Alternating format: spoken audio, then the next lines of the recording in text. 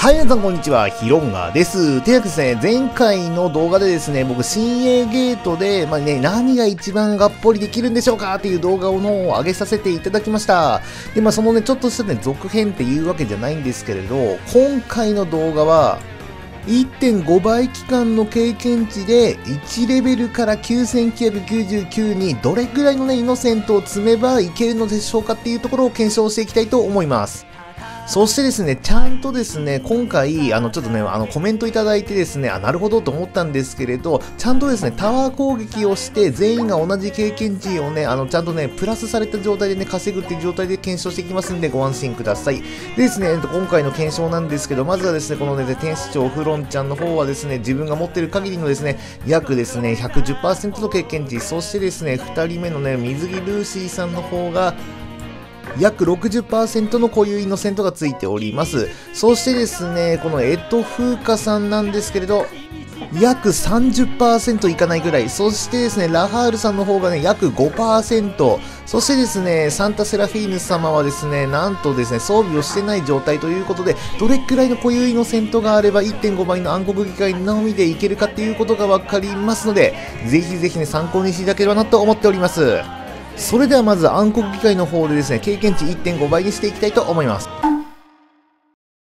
でちょっと余談なんですけれど、まあ、最近ですね、経験値ゲート3倍になりきっちゃったせいでですね、この1.5倍が少なく感じちゃってるんですよね。せっかく新しいゲートも増えたので、ぜひぜひ3倍の方も復活してほしいですっていう気持ちでですね、今回の検証していきたいと思います。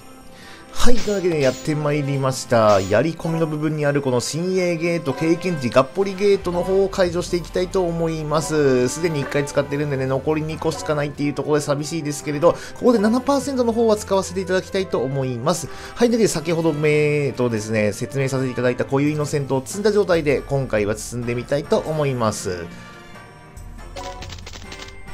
はい、でですね、まあ、ここ進んでいくんですけれど、はい、先ほど言いました、オートの方必ず解除して、持ち上げるを上げていきたいと思います。何言ってんだ、語彙力。はい、でですね、このですね、えっと、持ち上げるなんですけれど、えっとですね、モンスターですね、えっと、魔物系を入れる場合はですね、1体以上入れられませんというところをお気をつけください。持ち上げることができません。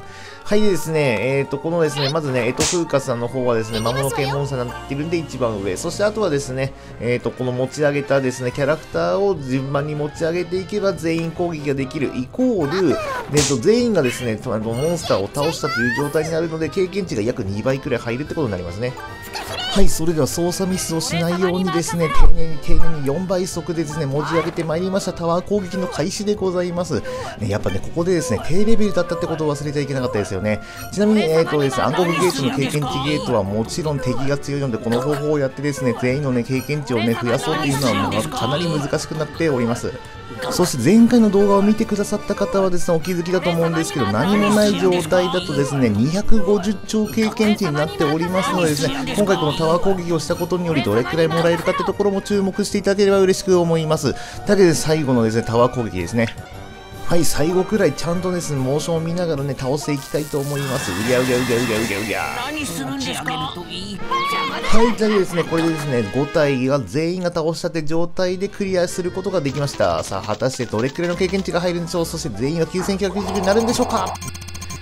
うーん、なるかならないか、それはあなた次第ですね。っていう感じでですね。はい、というわけです。結局ですね、経験値の方がばらつきがあるっていうことは全員が9999になってないってことだけ確定しております。そしてですね、おそらく一番左のフロンちゃんは確実に9999になってると思いますので、なんとですね、この必要な経験値が929兆だっていうことがこの動画でわかります。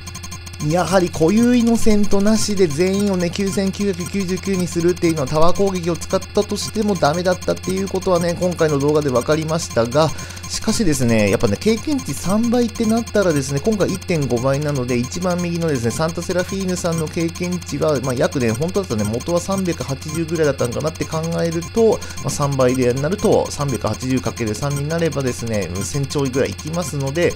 まあ、経験値3倍になれば固有イノセントがなくても全員がレベル1から9999になるっていうことが分かります。ですので、やっぱですね、まあ、転生回数でプリニーがもらえたりとかですね、まあ、超転生をね、早くね、いち早くね、クリアできるっていうことでね、このね、新鋭ゲートはかなり使いたいんですけれど、やはり今は使う時ではないなっていうのが素直な本音でございます。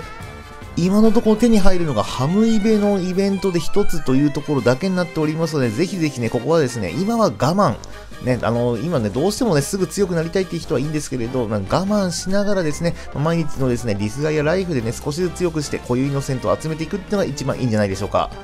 はい、というわけでこの動画が良かったよって思ってくださる方いましたら、ぜひ高評価、チャンネル登録、そしてですね、ぜひぜひ Twitter の方でですね、この動画広めていただいてですね、新鋭ゲートのね、まあ、知らなかったよって方にも広められたらいいななんて思っておりますので、ぜひぜひよろしくお願いいたします。はい、というわけでですね、今回の動画これ最後になります。最後までご視聴の方ありがとうございました。またね